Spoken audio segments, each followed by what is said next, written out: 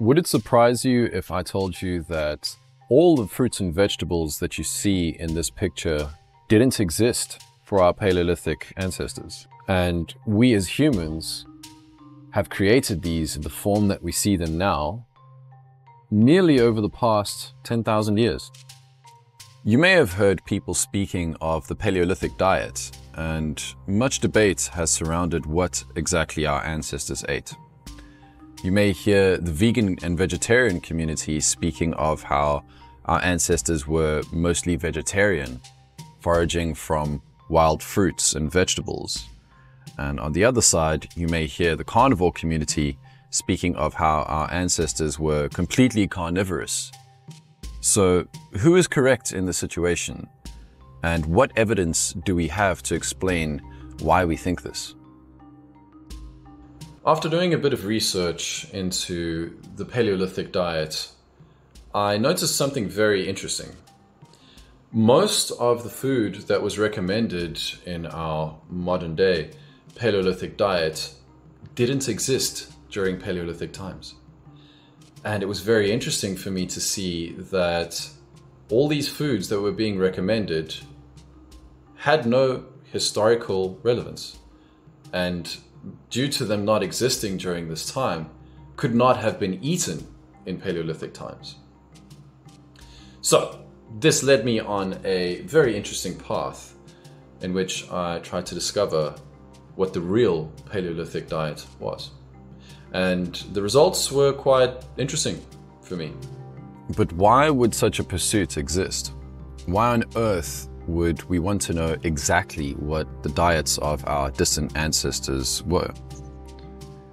It would stand to reason that as humans evolved for hundreds of thousands of years to eat a specific diet, if we too followed that diet now, it would lead us to optimal health. While it is true that we have been eating a varied diet for the past 10,000 years, evolution doesn't work this quickly it may produce some small effects, but overall, when compared to the absolutely massive amount of time we spent eating this other diet, it pales in comparison. Understanding what this diet was that our ancestors ate for millions of years would show us more or less what our bodies are designed to eat and subsist off in a perfect system. Brushed off as a fad diet, the Paleolithic diet aims to mimic exactly what our ancestors ate during the Paleolithic period, which is roughly 2.5 million years ago to 10,000 BC. Most people grossly incorrectly estimate what was in our diets during this time due to the lack of knowledge of modern farming and what exactly was available to the people alive at that time. If we could climb into a time machine and teleport back to this time, scan the available resources in the environment, the results may be shocking. And many people, especially regarding what plants were available to eat, would be amazed to see that there were almost none. You see, if you take a look at the recommendations for a Paleolithic diet, on the internet, you'd find it to be so horrendously inaccurate that it's a wonder who devised these Paleolithic diet recommendations and if they'd ever done any research in this at all. Of the fruits and vegetables and nuts that are recommended by advocates of the Paleolithic diet, the majority of these didn't exist during Paleolithic times in the form that we see them today. And many of them weren't found at all. When we understand the absolute massive amounts of time that humans have existed on this planet, and then we add that into the type of food we're eating during this time, we will understand that humans in the current day are eating food that only exists now and has only existed for a very short amount of time when compared to that absolutely massive timeline. Incredibly, we could go as far as to say that about 70% of our diet today is comprised of foods that our ancestors never ate for the past 2 million years. Around about 2 million years ago, Homo erectus was colonizing the world as an incredibly successful early human. And from the fossil records, from the contents of their living quarters, we see that this hominid was incredibly carnivorous. It hunted and scavenged to fulfill its calorific needs. So, if we look at the living quarters found around Homo erectus, we can see the bones of animals that have been butchered. And how do we know that they have been butchered? Well, we can see cut marks from stone tools indicating that the meat has been cut from the bone.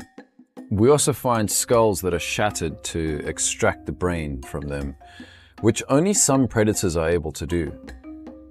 Humans filled this niche by using blunt tools, whereas most predators such as lions and leopards don't really ever try to get into the skull. So let's take a look at this timeline so we can understand what exactly it is our ancestors ate. Now, at this point, many people will probably be arguing the fact that humans have been farming for a very long time. But what is a long time? Because we know that humans have had farming for around 10,000 years, possibly longer, and possibly much shorter in many populations. This farming brought about the large consumption of grains and some vegetables, and some fruits, yes. The issue is that 10,000 years, when equated to 2 million, is an incredibly short time. 2 million years of evolution compared to 10,000 years of evolution is quite an overwhelming number when you think about it. If a person truly understands just how long evolution takes to adapt to new food types and the implications that come with that, they will understand that these 10,000 years, while definitely having some effect, pale in significance in the 2 million years. Consider too that humans spent 90% of our existence in just one continent before moving out and colonizing the world. Africa was our home for almost the entire time we have been on this planet. And Africa doesn't really contain almost any of the vegetables and fruits that people eat these days. We spent an incredibly long time in one continent, subsiding off of a very specific diet, which did not include most of these modern foods and modern plant foods. So, not only did we not have these modern day equivalent versions of our vegetables, fruits, grains, but we were not even in the same geographical area to consume these things. We didn't even have the chance to encounter them.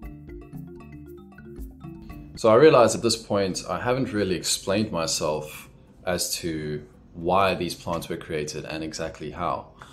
And in our next part of this video, we will go into detail explaining exactly the process, why, how, and when it happened, and how exactly our diet changed from this primal diet that I was speaking of into the modern diet that we have now and the diet that we've had over the past 10,000 years.